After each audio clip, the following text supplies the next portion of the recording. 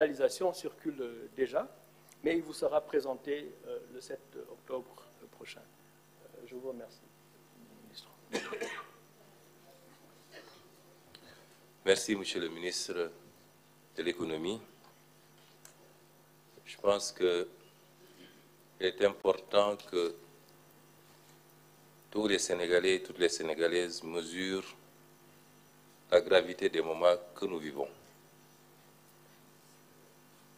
Il est extrêmement difficile d'intéresser les Sénégalais sur euh, des questions qui relèvent d'une certaine technicité, particulièrement quand il s'agit des finances et du budget. Mais en langage très simple, je voudrais que les Sénégalais comprennent la situation. Et il était important pour nous de dresser cette situation de référence bien avant de vous présenter le nouveau référentiel le 7 octobre. Vous ne pouvez pas faire des projections sur les 25 prochaines années si vous n'avez pas fait l'état des lieux et la situation dans laquelle vous trouvez le pays. C'est d'autant plus important que, en tant qu'acteurs politiques, nous avons promis aux Sénégalais. Nous avons mené une lutte politique pendant dix courtes et longues à la fois années, qui ont été consacrées par l'élection du président Bassirou Diomaye Faye. Et nous avions promis aux Sénégalais que nous les mènerions au sommet du gratte-ciel. Et je confirme ici que par la volonté de Dieu, nous le ferons.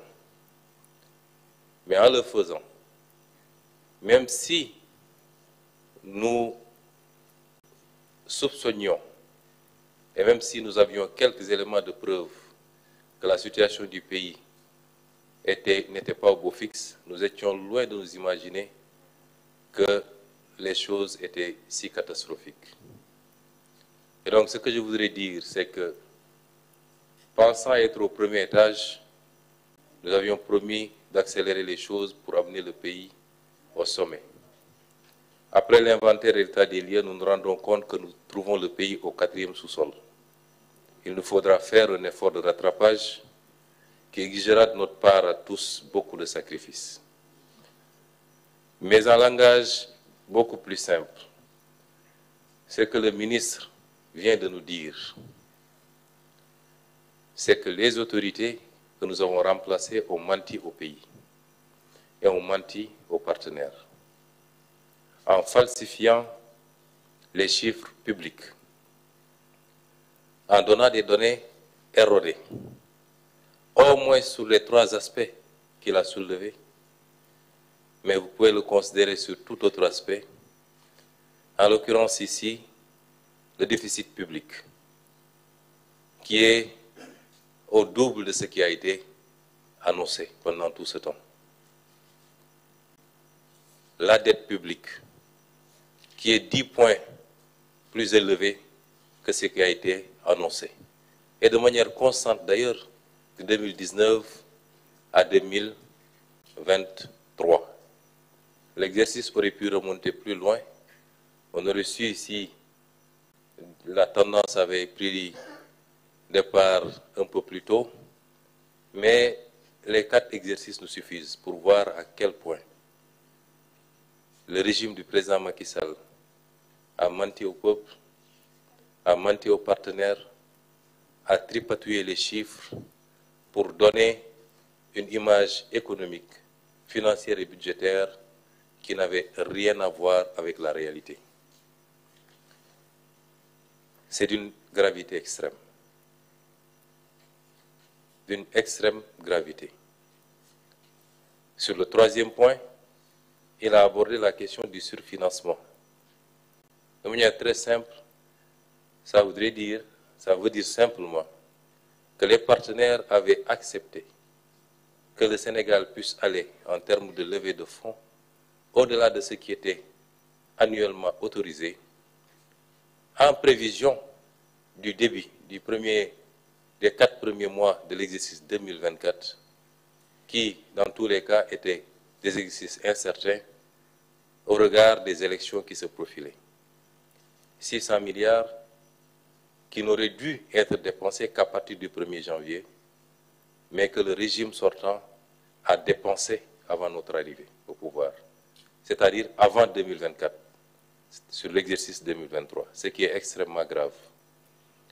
Il est important d'insister sur ce point, parce que la manipulation a voulu faire croire aux Sénégalais qu'il y avait un problème avec le surfinancement et que c'est notre régime qui a utilisé ces fonds, ce qui est totalement faux.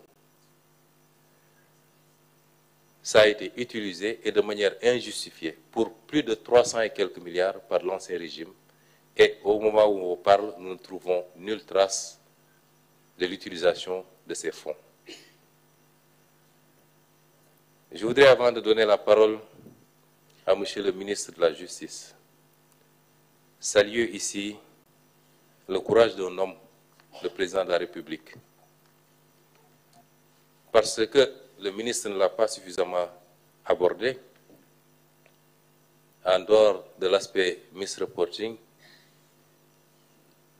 mais cet exercice auquel nous nous livrons aujourd'hui est un exercice risqué pour un État puisqu'il peut avoir des impacts aussi bien dans nos relations avec les partenaires que au niveau du marché.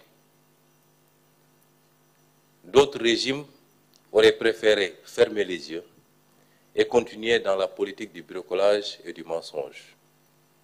Quand nous avons découvert la situation, nous avons tenu des réunions en présence des ministres concernés. des doutes subsistaient, légitimes. Et le président de la République a donné une réponse très simple. Je ne démarrerai pas ce mandat dans le mensonge, je ne le déroulerai pas dans le mensonge et je ne le terminerai pas dans le mensonge. Quelles que soient les conséquences de cette situation, je dirai la vérité au peuple sénégalais. Et je dis que Dieu aime le Sénégal parce que si on avait été inscrit dans la continuité, je puis vous assurer que ceux qui sont à l'origine de cette situation ne l'auraient jamais, jamais présenté tel que nous le ferons aujourd'hui. Et le peuple sénégalais